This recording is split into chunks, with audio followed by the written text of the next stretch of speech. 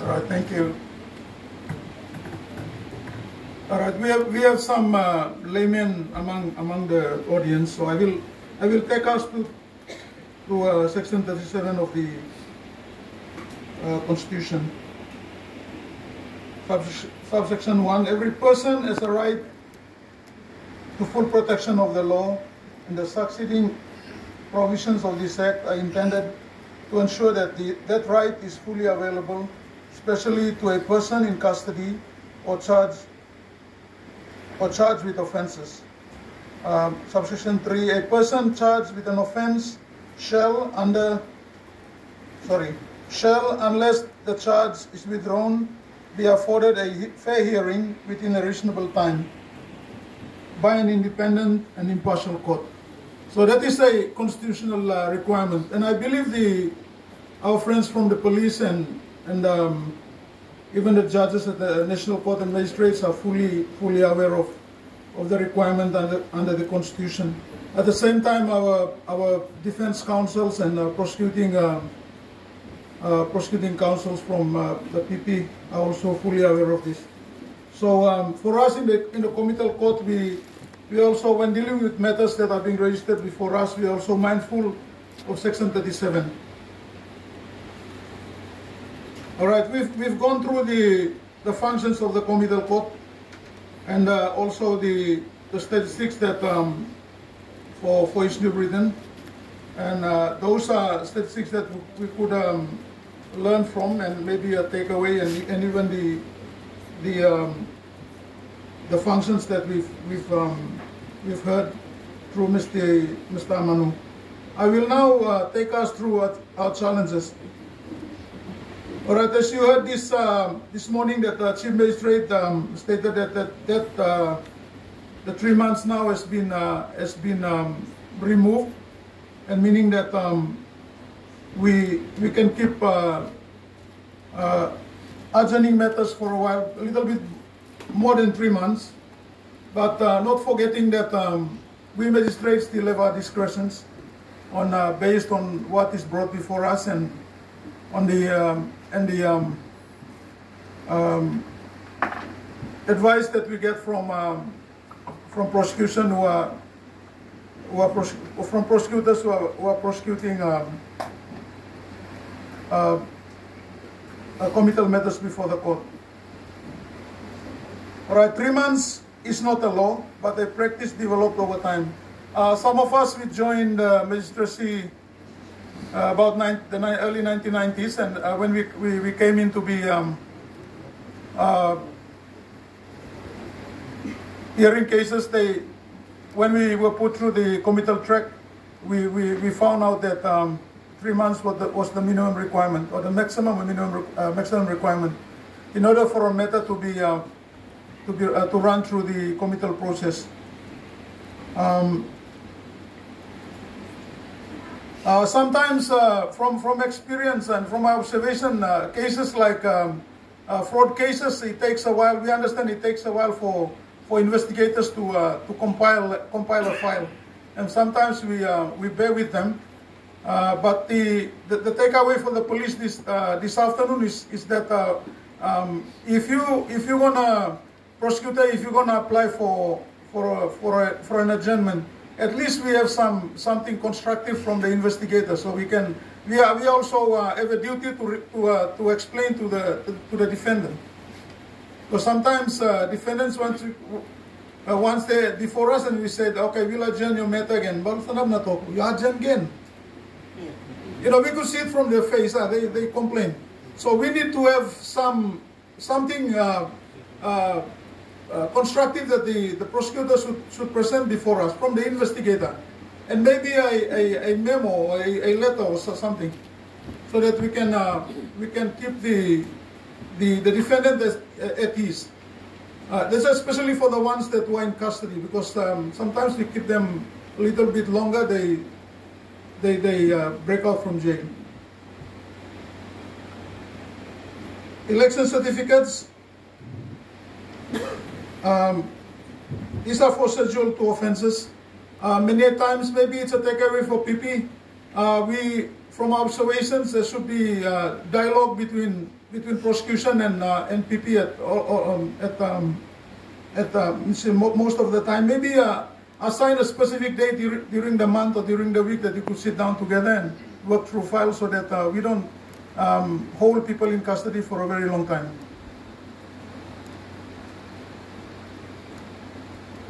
So, th so that is one of our, one of our challenge, the election election certificates. All right. The other main um, challenge for the courts in, in completing or fast-tracking a committal matter is the non-availability of investigating officers and police, police prosecutors.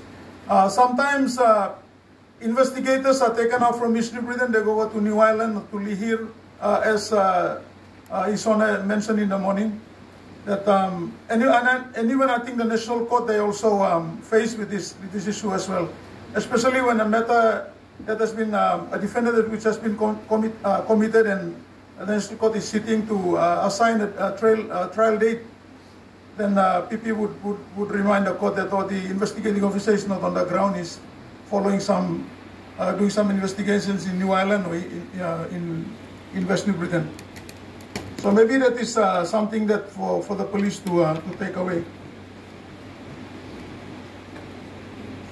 Uh, police prosecutors as well, now there is a common practice with, with the police department.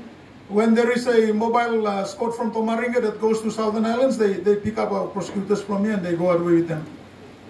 Naiplakan sabi sa may kiwan naman case lumipla delay sa kamam. And uh, we also uh, have the experience of um, prosecutors from outside. Say if a mobile store from Kerowagi are in, are in Kokopo, then they bring their own prosecutors. I don't know the, the reason behind it. Maybe uh, later on during uh, discussions in the afternoon, the police can clarify that. Maybe Mr. Uh, Chief Bo uh, Inspector Boas could, um, could clarify. Right, that's similar to the other challenges is the arresting officers and uh, police prosecutors call out for other operational duties such as election, ethnic clashes, etc. All right, our other challenge is uh, bail. Bails, uh, we, we'd like, uh, for, for the last three years or so, we are now demanding for proper bail applications to, to be filed. And uh, we, we actually ask the, the relatives, if there's a relative in court, we, we normally um, ask them to seek the uh, seek uh, assistance of uh, public uh, solicitors to file proper in the national court if you are refusing bail.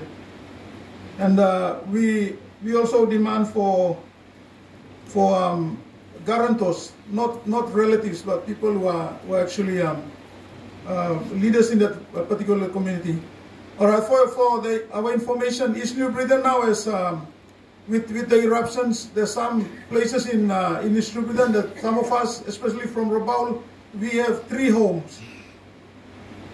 People at Gelegele have three homes as well. Some some of them they commit a crime at Gelegele, they run away to to um, Matalau and all these other places in Rabaul. Or if their relatives or their family member have blocks down Gazelle, they, they also move that way. So uh, we there is the one one reason why we we demand for proper uh, bail applications to, to be um, filed before us and maybe also uh, in the national court as well.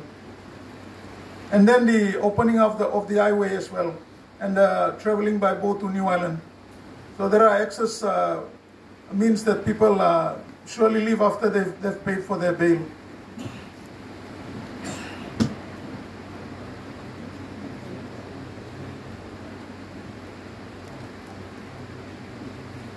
All right, that, through our discussions in the last two nights, uh, while we were preparing the the um, this uh, presentation, we, we actually posed the question that uh, if a, if the national court grants bail to a particular defendant who's, who still have a pending matter in the uh, in the committal court, in the event that uh, he abscond bail and does not turn up, do we have the does the district court have the power to revoke that bail? Because the conditions and uh, bail were set by the national court. Maybe that's something for uh, for us to talk uh, do alone after after the presentations. All right, our, our other challenge is um, the non-availability in relation to uh, juvenile um, juvenile uh, uh, offenders, um, but charged with indictable offenses. Um, we also faced with the non-availability uh, of the juvenile justice officer at times. Uh, maybe she's up at the national court, and and that is some that is, that is a big challenge for for East New Britain because he is required to also appear in the in the summary court in relation to uh, matters that are for juveniles that are being charged with a summary offense.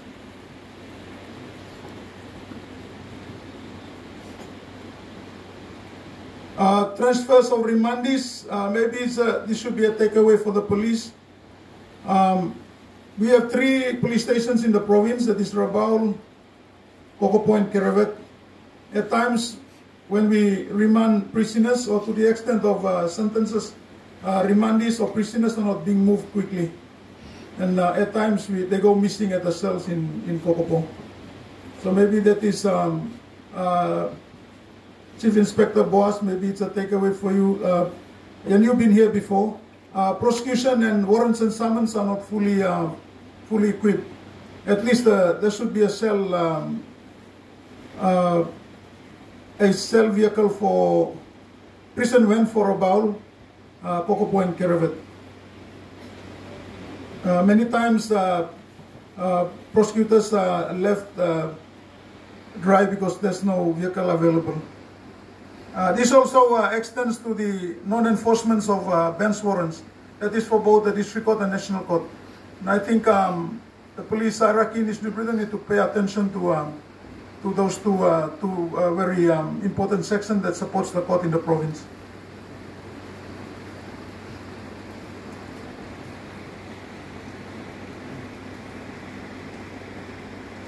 All right. Um, our other challenge is a it's our wish for a specific uh, specific uh, national court uh, criminal co dates.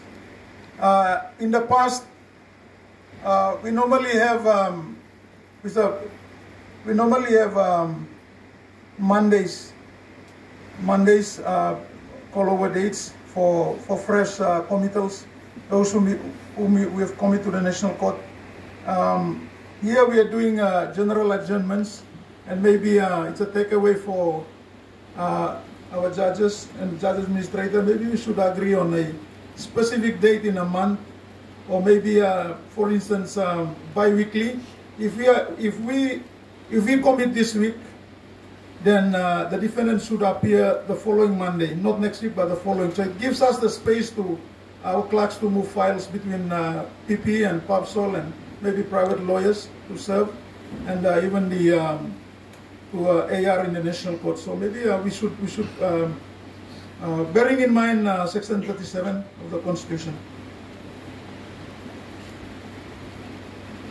And also, um, I would encourage um, consultation between uh, PP and PubSol and the other lawyers with the AR in the National Court so we could, maybe some some defendants who could uh, plea or the ones that we've, we've committed for sentence, uh, maybe it's good to deal with them and um, then give um, opportunity to those who, uh, who um, needs to go on trial. So that's basically um, the challenges that um, we, we face as a, as a court. But it's good that, uh, thank you once again, uh, uh, Justice Kasman and uh, uh, Justice uh, Tusais for organizing this, this workshop um, in order that uh, we don't only walk away here uh, with nothing, but at least we, we try to uh, uh, connect every, every agency of government in the, um, in the law and justice sector so that we can find a, a pathway that is friendly and uh, also for our users as well. So with that, thank you very much.